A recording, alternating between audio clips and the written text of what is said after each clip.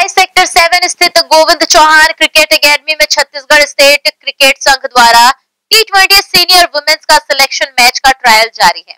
आयोजित दो दिवसीय मैच का समापन मंगलवार को किया जाएगा। इस टी ट्वेंटी ट्रायल मैच में 30 महिला खिलाड़ियों ने हिस्सा लिया, जिनमें से चयनित 20 महिला खिलाड़ियों को राज्य स्तरीय BCCI senior T twenty women match में खेलने का मौका मिल पाएगा।